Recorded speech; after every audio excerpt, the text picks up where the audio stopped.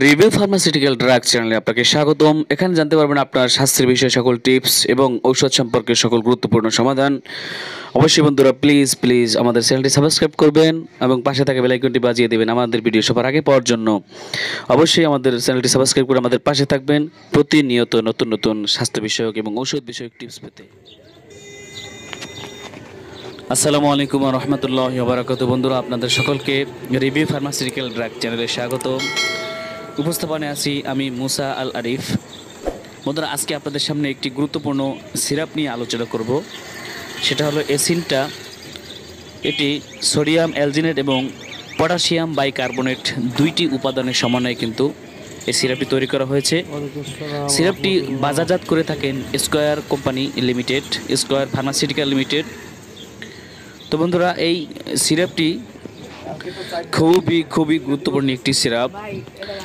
অনেকের গলা বুক জ্বলাপোড়া করে পেট জলে অনেকের বলে যে তলপেট জ্বলাপোড়া করে নাভির গোড়া থেকে জ্বলাপোড়া করে অথবা গলা বুক প্রচণ্ড পরিমাণে জ্বলাপোড়া করে চুকা ডেকুর ওঠে।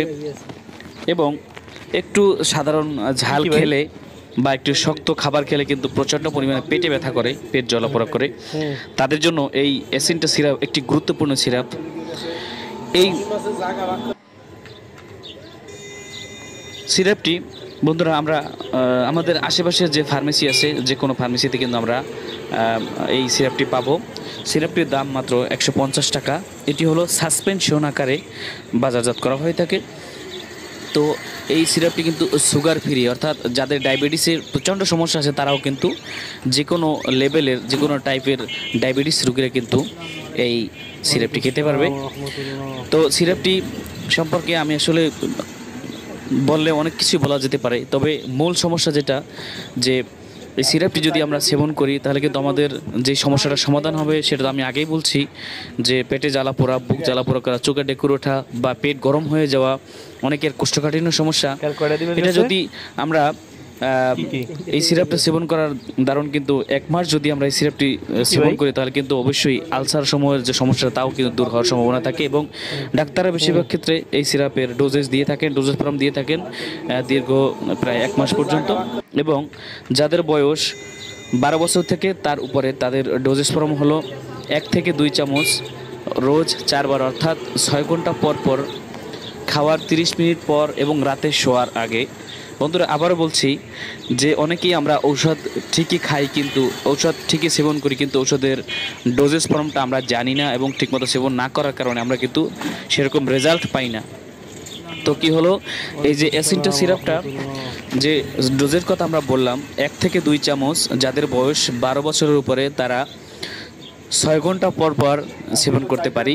রোগের তীব্রতা অনুযায়ী যদি বেশি হয় তাহলে ডাক্তার আপনারা যে যাকে ডাক্তার দেখাবেন যেখান থেকে আপনারা চিকিৎসা নেবেন সেই ডাক্তার আপনাদের কিন্তু ডোজেস ফর্ম বাড়িয়ে বা কমিয়ে দিবে এরপরে যাদের বয়স বারো বছরের নিচে তারা কিন্তু এই সিরাপটি আধা চামচ অবশ্যই কিন্তু যাদের বয়স দুই থেকে বারো বছর আধা চামচ থেকে এক চামচ রোজ চারবার অর্থাৎ ছয় ঘণ্টা পর পর সেবন করবে। বন্ধুরা, আমি আপনাদের এই যে ঔষধের রিভিউগুলো দিয়ে থাকি, আমি মনে করি এটা খুবই গুরুত্বপূর্ণ প্রত্যেকটা মানুষের জন্য, প্রত্যেকটা রোগীর জন্য।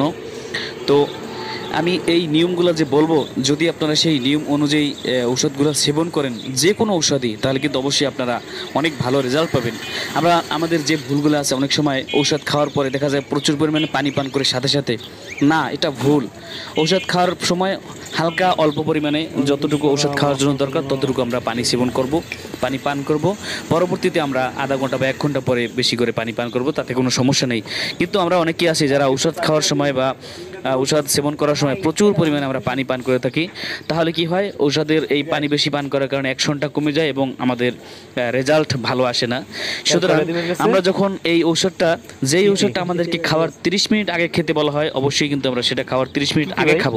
আর যেই ঔষধটা খাওয়ার 30 মিনিট পরে খেতে বলে সেটা কিন্তু অবশ্যই আমরা খাওয়ার 30 মিনিট পরে খাব।